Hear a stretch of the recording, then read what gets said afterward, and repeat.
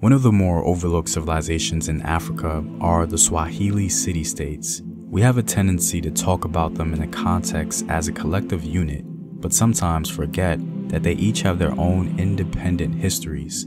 So today, I wanted to focus on one of the greatest East African civilizations, the Tanzanian city state of Kilwa.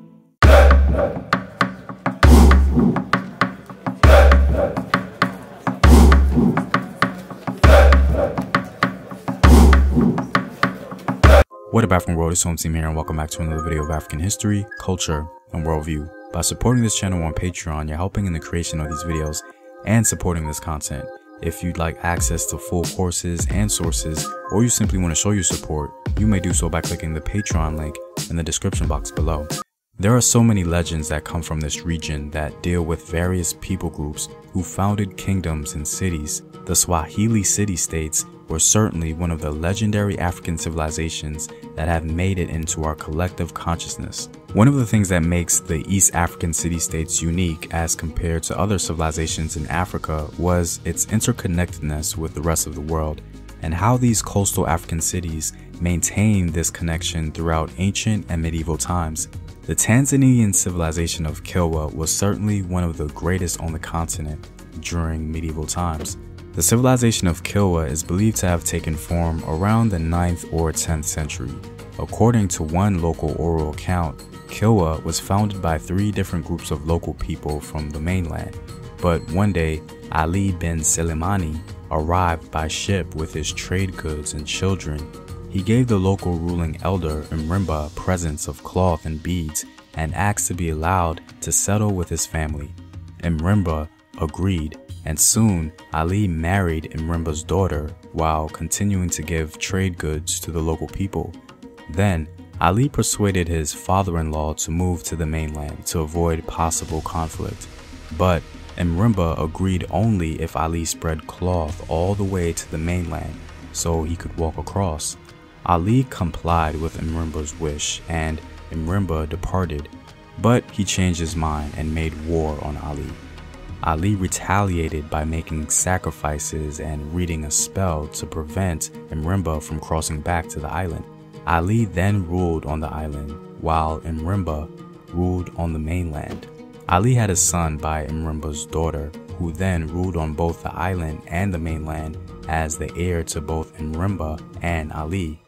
All of this happened before Kilwa became a trading town, for the people remained farmers and fishers, paid no taxes, and didn't live within a town wall. This oral tradition establishes the fundamental basis of Kilwa society. While the town was founded by local people, foreign traders from both Africa and abroad arrived and gained the right to settle and trade by paying tribute in beads and cloth. Later, these groups intermarried with local people, continuing to exercise authority over the land. Muslims then consolidated their power through their wealth and religion, but ultimately, these groups became joined in their descendants, who were heirs to both the land and the people. Thus, the city of Kilwa represented a fusion of local African hunters, farmers, and fishermen, including converted African Muslims from further north and foreign Muslims. Each of these groups whom played a distinctive role in the historical development of Kilwa civilization. From about 800 to 1150, Kilwa was primarily a fishing and farming village whose inhabitants produced ironworks, beads, and pottery. They also participated in trade along the coast.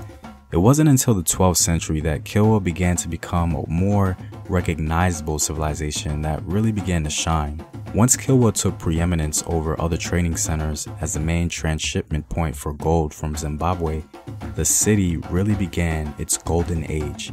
As people in Kilwa became more prosperous, they built large houses of coral rag and lime mortar, produced cloth to trade with their neighbors, minted their own copper coins, and imported increasing quantities of Persian and Chinese pottery, rich cloths, and expensive glass beads.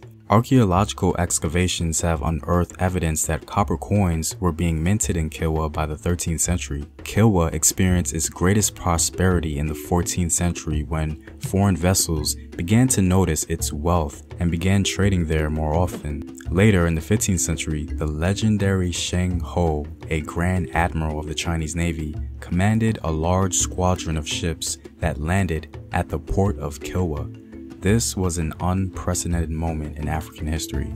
Upon his visit to East Africa, Ibn Battuta also visited the city of Kilwa and had this to say We traveled by sea to the city of Kilwa.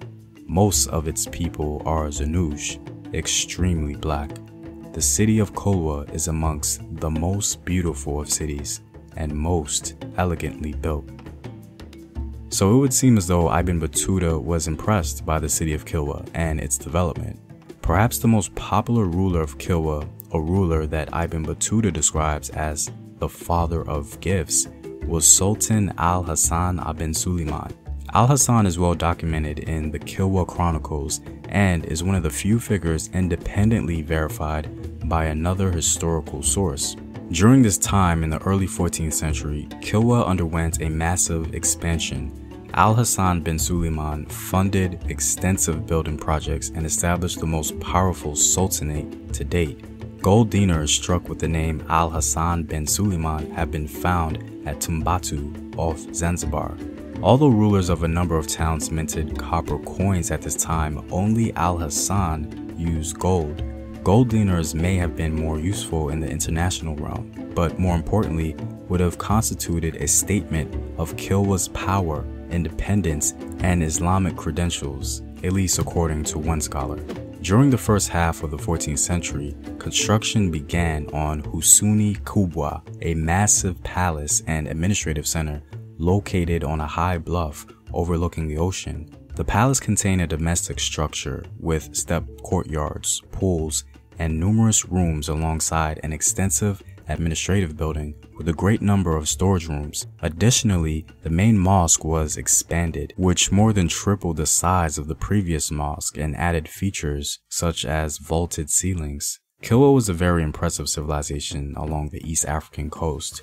Who knows what true potential it could have had if it had not been invaded by the Portuguese in the 16th century. Well, I'm all out, guys. If you like these videos and want to help in its continued production, consider supporting the home team on patreon.com.